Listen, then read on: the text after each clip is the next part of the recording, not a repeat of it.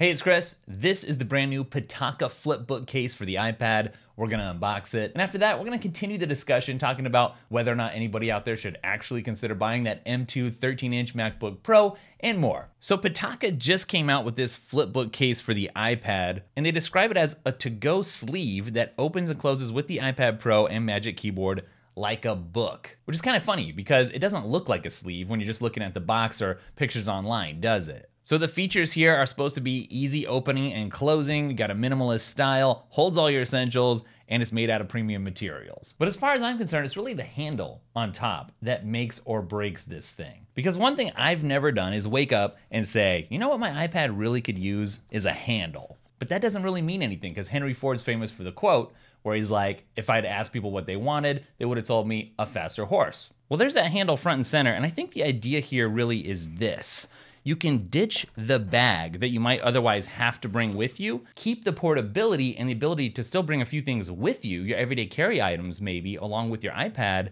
but if you don't have to bring a bag, then why would you? So this is gonna sit in there, this is gonna wrap around, and then these are magnetic. Very cool, but of course, as you can see, we have some film that we have to peel off here. So the way that this is gonna operate is by some sticky adhesive. Probably not the end of the world, because I think anything's gonna peel right off of this without being too much of a problem. But as soon as you remove this protective film here, there goes the warranty. Now, as I'm setting this up, you're gonna notice I'm just installing this right on top of my Magic Keyboard. That's right. It works with your Magic Keyboard, and I love that because I love accessories that work with the Magic Keyboard. I'll link up a few others that I've covered recently down in the description for you to check out too. All right, so I got that installed, and you're gonna be like, Chris, this looks a little goofy. Obviously, this would look better if you had the black Magic Keyboard on here. I didn't see an option to get a white uh, color here to match. But honestly, that's all right. I kind of like the Stormtrooper look here, so I'm not really hating it. Now already I'm seeing that there's a little cutout here for your camera, and uh, yeah, you can actually open that. I think it's supposed to be magnetic, but it actually doesn't stick all that well. So that magnet could be a little stronger. There we go, it's actually sticking a little better there. So 99% of people out there really don't make much use of the iPad camera, right? That's probably overdoing it. But for those of you that do, there you go. You keep it protected, but you can still use it. Now, this is where your extra storage is going to come from, right? You got this carbon fiber covered portion here. It's like an expandable pocket. You can pull that out a little bit, and it's just a zipper here. So you can zip that open, and you could actually fit a decent amount of stuff in here. Like it might be a little thicker than a pack of playing cards. All right, so let's just do this. I got a few things here that I might want to take with me. I got some super chunky Beats earbuds. I love these things. All right, those fit, but wow, that's a stretch there. Let's see if I can even zip this thing shut. Oh, there we go. They fit. It's a little bit bulgy, but it does fit. All right, mission accomplished there. What about your phone? If you just want to bring a phone, now I got a Speck case on here. It's not the biggest case in the world. It's not the thinnest. All right, that should easily fit. Absolutely. Or what about your wallet? I got a Ridge wallet here. That's my actual wallet and that's no problem at all. And then, you know, if I'm going somewhere, I'm likely to bring a magic mouse. Maybe I like a magic mouse with me. That's easily gonna fit in here. And then you can fit any number of different combinations of similar items. Not a problem. Uh-oh, one thing I'm noticing though, is that this orange lining right here is getting a little bit chewed up already. So, you know, this is a first gen product, right? And I think that's one thing the team's definitely gonna have to work on here. It's already showing some wear. I mean, I don't even know how that happened. I just took this thing out and that's what it looks like. Which I think is unfortunate because the rest of the materials seem to be pretty high quality. This is leather, that looks good, feels good, the stitching seems good. This is carbon fiber here, it's nice and tough, not gonna get messed up, but it looks like that orange strip there, not made out of the best material. All right, so I got a handle here now. I kind of turned my iPad into a briefcase. Definitely looks kind of businessy, especially if you match it with the all dark, the black here. The handle makes a little bit of noise when you're carrying it. Let me see if I can get that noise right? Can you hear that? But it seems solid. I don't think I'd be worried at all about the iPad slipping out or anything. But the real question is, what is it like to use your iPad with this on? That's my main question. The second I saw this, it was like, okay, so you open this up and oh great, I realized I just installed this first. This is why you read the directions. It's a little wobbly here. I think that's my fault, not the product's fault, because I can already tell these are supposed to go back here probably to balance everything out, have four points of contact and keep that from wobbling. So that's my fault. All right, let me see if I can fix that. I'm just gonna move this back. When in doubt, read instructions. All right, so let's try this out now. There we go, uh, definitely not wobbly now. So there we go, fix that. All right, but look at this. the handle here is just sitting out. You can't tuck it under because then you are gonna get some wobble. It has to stay facing you, facing out. Now, the question is, does it get in the way? And I would say, actually, no, it doesn't. Um, you know, I can feel it. It's almost like a, a, palm rest, except it's not. It's not far enough back to be a palm rest. So, uh, but the, the thing I can say is it doesn't really get in the way. I mean, I can use everything. I can type here and it's not a big deal. And I mean, it looks like everything else stays out of the way just fine. You know, your Apple Pencil remains accessible. So if you're an Apple Pencil user and you've got the Paperlike screen protector on like I do, then you got the Magic Keyboard, which is a must-have. For a lot of people, if you're serious about getting certain types of work done, you have to have the Magic Keyboard. It's just what works best. So maybe for some people, this is like the ultimate combination. Forget the bag. And when it's time to pack up and get out of here, boom, it shuts, magnets close, and you're out of there. That's a quick escape. I guess my main question here really is is this thing worth $89? And by the way, it looks like suspenders for your iPad, sort of, right? And again, it would blend in better with the black Magic Keyboard. But $89 for this thing that's actually hard to categorize because it's not really a sleeve. It's definitely not a bag that this fits into. It's really just some leather that sticks to your iPad and gives you some extra storage. I don't know, I guess it mostly is gonna come down to do you like the looks? Because I think the functionality is very different and unique from anything else I've seen out there. And it's pretty cool to be able to, I think I could take with me if I'm going to a meeting or a coffee shop, I think I could bring everything I would want in that pocket. Between that and my actual pockets, I think I'd be good to go. So it's just a matter of do you feel like a dork with this? Or if you do, who cares? You know, if it works for you, I think this is actually pretty cool. I will say they really went with a business vibe here, like a business feel. This doesn't seem casual, right? So I think it really would make the most sense in a business environment. But if you have some place to be and you want to bring the bare minimum essentials with you and ditch the bag, what a cool accessory. I'll link it up down in the description if you want to actually check it out. Check me out. All right, it's always fun to explore a new iPad accessory, but I'm not ready to stop hanging out yet, so it's time to go the extra mile. Well, here's something should anybody, and I mean anybody, be buying the M2 13 inch MacBook Pro? Because if you want a MacBook Pro with the M2 chip right now, you have to get the new 13 inch. That's the only thing that has it. You can't get a 14 or a 16 inch MacBook Pro with the M2 chip inside. So a lot of people are gonna be like, well, that one is the one that has the M2. I have to default to that. That's the one I gotta get. Well, hold on a second. Well, this is actually really interesting to me, okay? Because a while back, seems like a long time ago now, I placed an order for a 14 inch M1 Max MacBook Pro. But in between the time I placed that and the thing arriving, hasn't arrived yet. It's been like, I don't know, almost two months maybe. It's supposed to come on Friday, by the way. In between that time, Apple announced this 13 inch with the M2 chip. And my initial reaction was maybe I should cancel my order and grab this one instead. And by the way, it's never a good time to buy a Mac, it seems like, because with all the Apple Silicon, they're just pumping out new Macs one after another. And honestly, you can just start the regret timer the second you unbox that thing because it's not going to be too long before the next one comes out. But you can't really complain about it because they're all so good. But I'm digressing. But, anyways, I was like, should I cancel my order and get that instead? And I thought about it and I looked at stuff and I didn't cancel my order. And that's what I want to talk about. I think Rene's cheat sheet tweet here really summarizes things like why I haven't canceled you go with the M2 for a faster single core, and you go with the M1 Pro or Max for more GPU cores and heavier workloads, and also double the media engines with the Max. Exactly. And I really feel like this conversation centers more on is that 13 inch really all that pro in the first place? Or have things evolved to the point where they really just need to retire it? And get rid of it. If I'm buying something that's labeled Pro, I have workhorse tasks in mind. There's a small group of people out there who are like, pro, that's like top of the line. And I just want to have top of the line, so I'm going to get the pro. But even then, you're you're getting a good computer. Like, don't get me wrong, 13 inch. If you're upgrading from anything that's an Intel, and you upgraded 13 inch M2, that's going to be a great computer. And that's not just a small little incremental upgrade for you. You know, it's going to be really, really good. But for people out there who are definitely for people that have anything with an M1 in it, it's going to be a much smaller upgrade. So look, aside from getting only four terabytes of storage instead of maxing that out, I maxed out everything else about the 14 inch M1 Max, right? The MacBook Pro with the Max chip. Maxed it out, and that is going to serve me better, even though that's old. It's been around for a while, right? It's been on order forever, still hasn't even come. That's going to serve me with my workflow better than the new M2 chip. And on top of that, I'm gonna have the latest design, right? So the M2, it's almost like Apple's like, hey, we got some more of these chassis laying around. Let's just stick the new chip in and get those out the door. Kind of like clean out the warehouse. I don't know if that has anything to do with how they actually made the decision. I mean, I'm sure not. but it almost seems like that, right? Because it's the old design. You're not getting the newest MacBook Pro design here. And that design is really nice.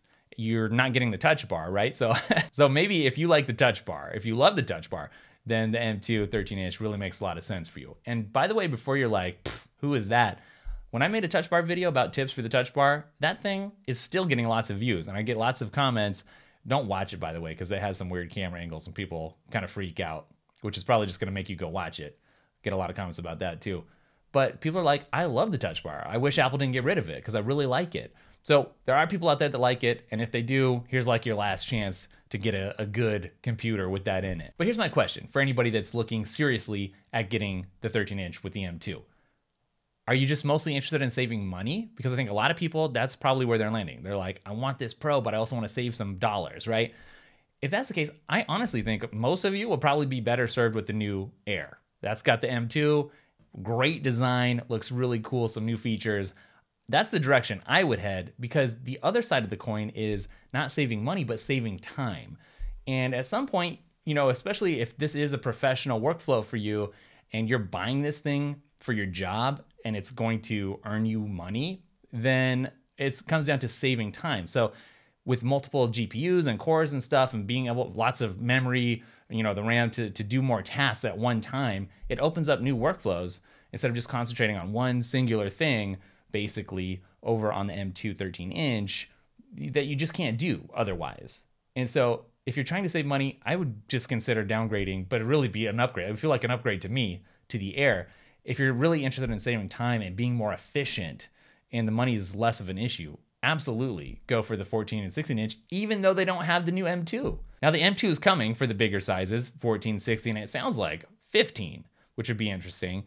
And so if you can wait, that's great. But for me, it seems like that 13 inch is really pro in name only. So if you're confused about whether or not you should get that 13 inch, I would say don't, just don't. Because if you're a real power user, you know that's not gonna do it for you and you need real power and you're gonna get the 14 or 16. All right, do you remember AirTags? It's been a while since I've talked about them on the channel. I've got a bunch laying around. I think I got four sitting around here but I haven't really paid much attention to them ever since I ordered them. I made a video about it and they just kind of sat around. I guess I got one on my keychain and I got one, you know, stashed in my wallet. Uh, but I haven't really thought about them. I haven't used them for anything. I guess that's good. I haven't lost anything that I need to track down. But here's an interesting story I came across. AirTags have now helped a Toronto man track down his stolen Range Rover. So, this person had a Range Rover that was already stolen like a month prior to this and they ended up getting a new one because I don't think they ever recovered the old Range Rover, doesn't sound like. And why is that? Why was it never recovered? Well, you're like, Range Rover, doesn't that have built in theft protection and tracking?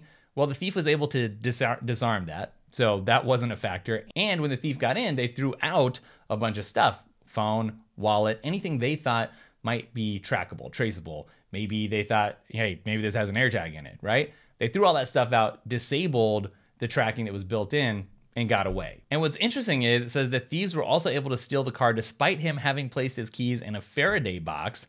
I don't know what that is, which prevents criminals from remotely copying a key fob and mimicking the signal to unlock the car. Faraday box. I gotta look that up really quick. Okay, so a Faraday cage or a Faraday shield is an enclosure used to block electromagnetic fields. A Faraday shield may be formed by continuous covering of conductive material. So yada yada. Okay, blocks electric signals. But even then, these were too good. They got a hold of it.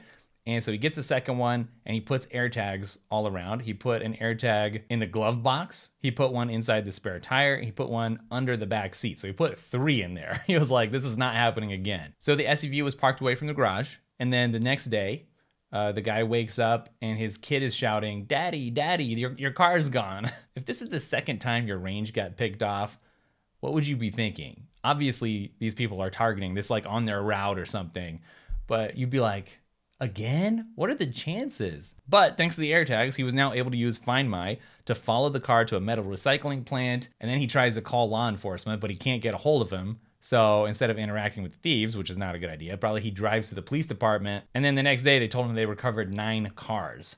So this one person's AirTags were able to save actually a bunch of people's cars. So this kind of has me rethinking my whole AirTag strategy. I've had a couple literally just sitting around that I've never done anything with. I might as well just throw those in the car, right? Then it's like you got to go to the trouble of renaming them, unless uh, they'd be driving around and be called like Chris's keys or something. Either way, you know, it has me rethinking using them because you don't need it till you do. And then future Chris is able to look back to past Chris and be like, hey, thanks. Thanks for sticking that in the car there. uh, yeah, AirTags. Maybe handier than I thought. Okay, before we get into this next story here, can I just admit something to you? Many times I've gone to sleep with an AirPod in my ear. I know that's not good because I've already read about the person who swallowed an AirPod while they were sleeping. But sometimes I listen to like an audiobook or something while I'm drifting off.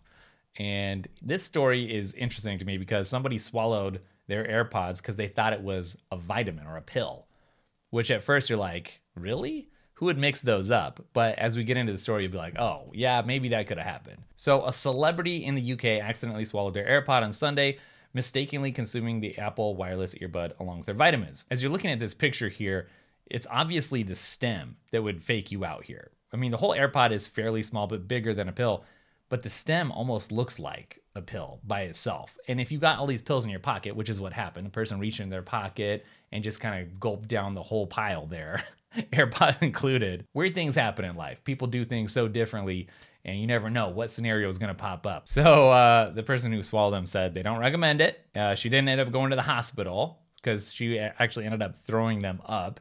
And oddly enough, somebody asked her if they were still working and she said, yes, but, quote, it smells of sick.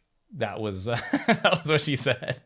so, uh, yuck, right? She was able to throw the thing back up, but she said her throat was really sore afterwards. Well, yeah, it's like a horse pill. And this has happened before. Somebody in November, a TikTok user, admitted to having mistaken an AirPod for ibuprofen, swallowed it, and even though the thing was consumed, it's weird to be talking about an AirPod that was consumed but it was consumed, that still worked too. And in fact, that one recorded a voice memo with some gurgling sounds inside the stomach. So, you know what? AirPods are pretty tough. Now, the person who was sleeping and swallowed the AirPod, I was playing with fire there. I know I shouldn't be doing that. They had to go to the emergency room. So, this absolutely has me rethinking whether or not I should be sleeping with the AirPods. I don't try to. You know, sometimes just listen a little bit and take it out and go to sleep. And the reason is I don't want to wake up my wife, right? By having it just blaring on the speaker. Any chance for the AirPod to go down the hatch?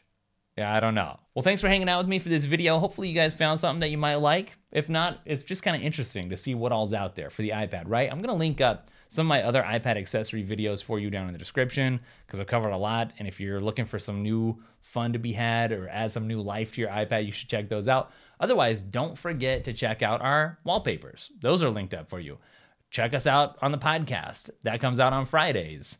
That's like some behind the scenes looks at things. And don't forget, we're on Twitter and Instagram as well. It's at Daily Tech, spelled Daily T E K K, in both of those places. And I'll catch you guys in the next video. Later.